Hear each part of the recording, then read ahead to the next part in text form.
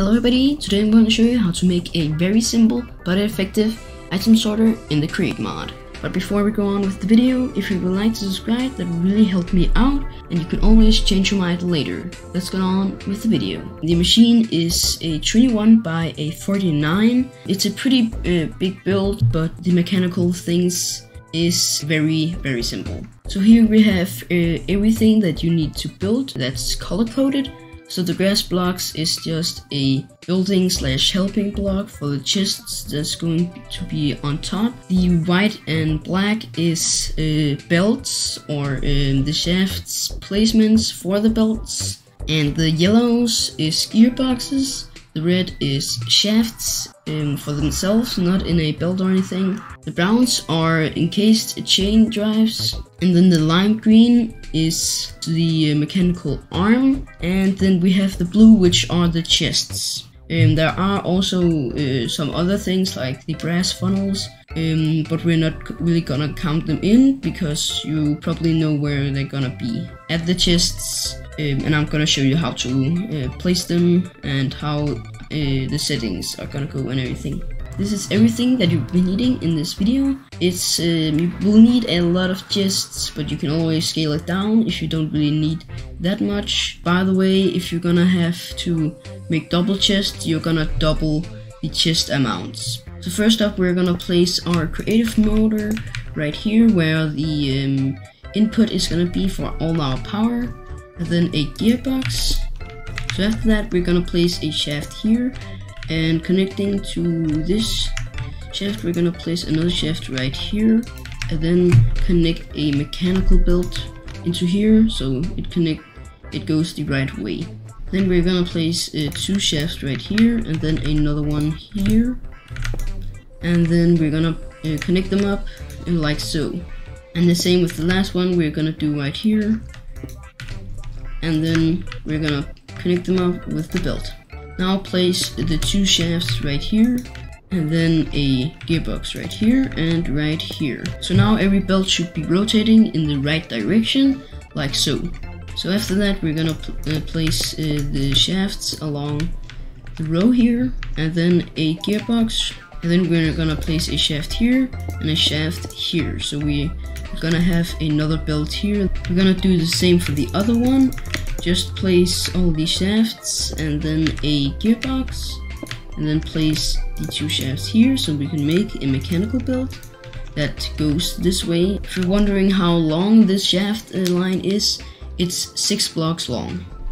Now we're gonna place the encased chain drive. So we're just gonna place one connected to the belt and another one connected to where we're gonna have the diagonal belt up to the arm, mechanical arm section. And the same we're gonna do for, for every one of these outputs here of the belts. So now this should be looking a little bit like this and we can go on, on to the next step. So we're gonna start by placing a shaft here where uh, the encased chain drives is gonna go and then we're gonna go 8 blocks up here um, to go up to this block so we're gonna go on top there's gonna go one in the encased chain drive, two, three, four, five, six, seven, and eight. And then place our shaft and then break the blocks again. And now that we have our shaft here, we're gonna place a belt that's gonna go from this direction. So we have the diagonal belt, and then gonna we're gonna place um, the two shafts right here to make a very short belt. I'm gonna place three shafts like this, two very close to each other and one um, with a three block gap.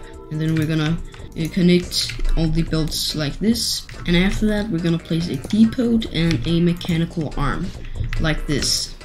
Then we are gonna place the shafts and we're just gonna place them like this so four shafts along the line here, and then a vertical gearbox um, to connect this mechanical belt to this mechanical belt, and then another one um, where it's turned, so it's gonna connect to this shaft.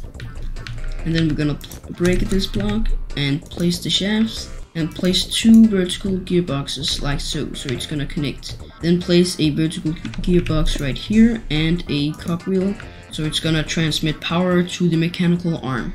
Now do this for every output here. So with mine there's five, but with yours there can be seven or three, whatever you like. So just repeat that. So just repeat this design until you're finished and have all these filled out. So now you should be having something that kind of looks like this, where everything is connected and works just fine. And now we're gonna place all the chests and funnels. So now we're gonna place all the chests and the range that the mechanical arm can um, place or take to the funnels is a 9 by 7 so 9 here and 7 up. So do that in every section. So I'm just gonna do that and um, you will I'll come back when I'm done so now it should look like this and now I'm gonna do the brass funnels. So it's gonna be the exact same process. And before you just place them down and think it's gonna work you're just gonna right click on them because if you don't then the mechanical arm really can't connect to the brass funnel. So now it should be looking like this. And uh, check go and check and if you have all your brass funnels looking like this with the arrow to the chest um, because if you don't it's not gonna work. Now we're gonna place the chests and the brass funnels. Place a chest here and then just brass funnels to the three sides. Then place a chest right here, a brass funnel on this belt and then on this belt. And remember to right click on it so it changes the arrow. And the same we're gonna do with this, funnel here, funnel here, right click here, and after that you're gonna place a smart chute and then a chest on top don't really want to uh, get in here. And the reason why we have the smart chute here is because we can filter it so anything that's not on the uh, item sorting system here is not gonna uh, get pulled into the chest and out to the belts. For the filtering, I will show you how to use a attribute filter to filter uh, things the correct way and better way for those who really haven't learned the attribute filter.